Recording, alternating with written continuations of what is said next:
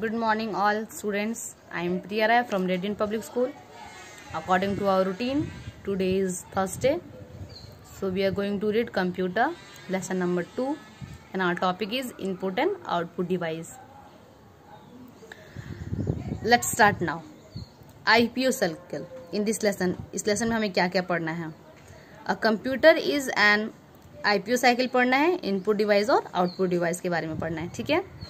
A computer is an electronic machine that work in three step जो हमारा computer वो क्या है? एक आईपीओ साइकिल है, ठीक है ना? इलेक्ट्रॉनिक मशीन है, जो थ्री स्टेप्स में काम करता है। पहला स्टेप है इनपुट आउटपुट एंड प्रोसेसिंग ठीक है? इनपुट करता है प्रोसेसिंग करता है एंड देन आउटपुट करता है।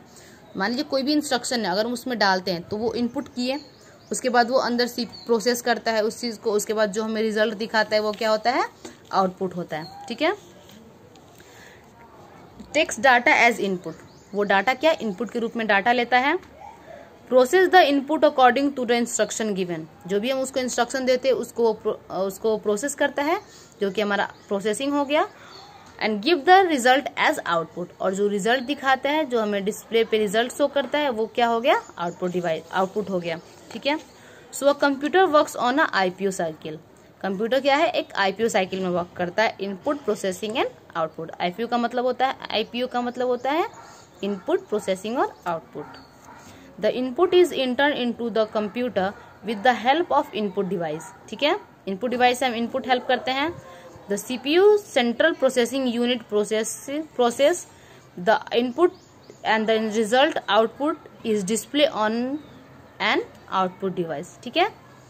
सीपीयू क्या करता है? प्रोसेस करता है। इनपुट हम करते हैं इलेक्ट्रॉनिक डिवाइस से इनपुट डिवाइस से और आउटपुट करता है, आउटपुट डिवाइस से हम उसको देखते हैं। इनपुट डिवाइस हमारा क्या है? Most common input device are keyboard processing device हो गया आपका सीपीयू एंड आउटपुट डिवाइस हो गया मॉनिटर ठीक है? Input device are the device that help you to enter data in the computer input device हमें डाटा एंटर करने में हेल्प करता है। The keyboard scanner and the mouse are the main input device scanner keyboard और mouse क्या है? हमारा main input device है।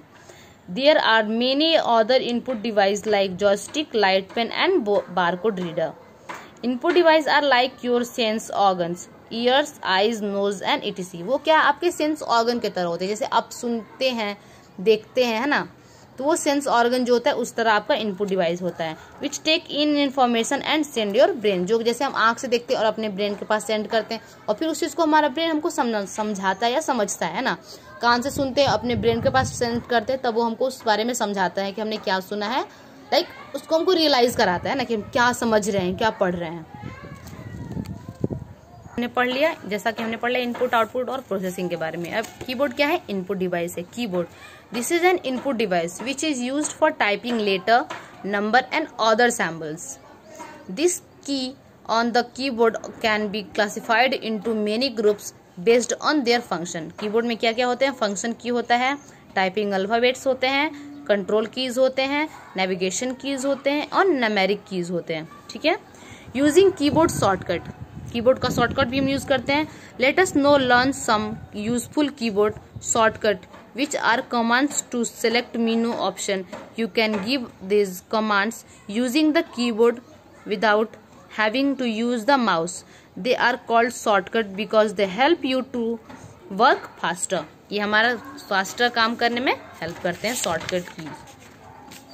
This command are a combination of the alt और the control key along with another or more key the plug sign between two or more keys means that you need to press the key together ठीक है for example control a means that you need to press and hold down control and then press a ठीक है जैसे कि हमको अगर control ए press करना है तो C T R L plus का की प्रेस करेंगे और ए दबाएँगे ठीक है कंट्रोल प्लस ए सेलेक्ट हो जाएगा प्रेस हो जाएगा Control plus shift plus A means that you need to press and hold down CTRL and shift and then press A.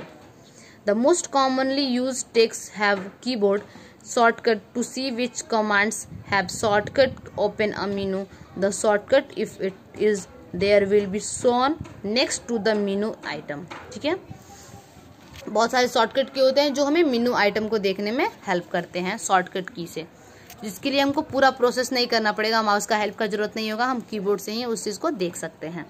The mouse this is an input as well as pointing device with two और three button on top when you move the mouse the pointer on the monitor moves along with it you can select and open files और folder by clicking with the mouse button mouse हमारा किस चीज़ में help करता है?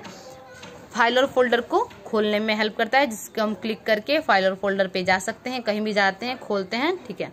Mouse हमें इस चीज़ में help करता है। बहुत सारे शॉर्टकट कीज होते हैं, जिसको कीबोर्ड से हम बिना माउस के हेल्प से खोल सकते हैं। उसके लिए हमें कीबोर्ड की ज़रूरत पड़ती है, ठीक है? आपको जितना भी इस वीडियो में समझाया गया, आप समझिए।